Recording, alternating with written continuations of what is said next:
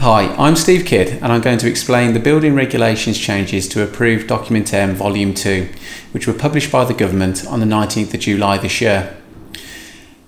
The new guidance means that from next January, changing places toilets will be mandatory in large buildings or venues in England that are accessed by the public. Changing Places WCs meet the needs of people with profound learning and physical disabilities. They provide specific equipment including an adult changing table, a tracking hoist system and a peninsula toilet, with space for use by a disabled person and up to two carers. The new amendment will make these mandatory in certain types of buildings or groups of buildings.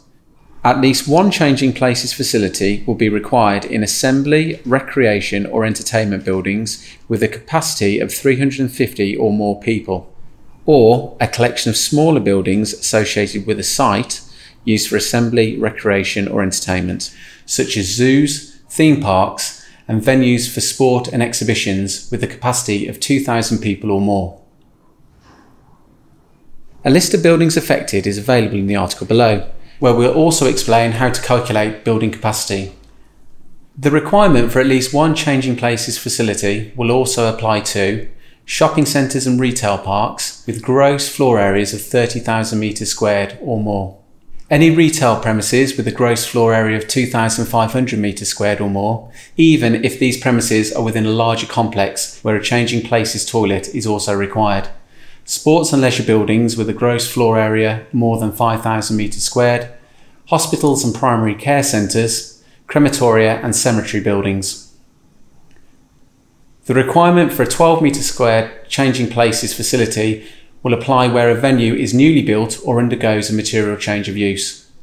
MHCLG is also investigating the possibility of introducing a smaller facility in relevant buildings that are extended or undergo a material alteration but this is not part of this amendment.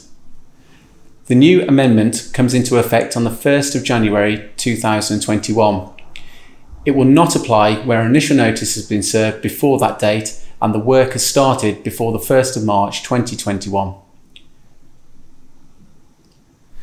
A changing places facility measures 4 by 3 metres and the key features of the layout are direct access from the door into the manoeuvring space, sufficient clear space for a wheelchair user and two assistants to move around the room, easy transfer using the hoist between the manoeuvring space, toilet and changing bench, peninsula toilet with privacy curtain or screen, and room for an assistant on either side.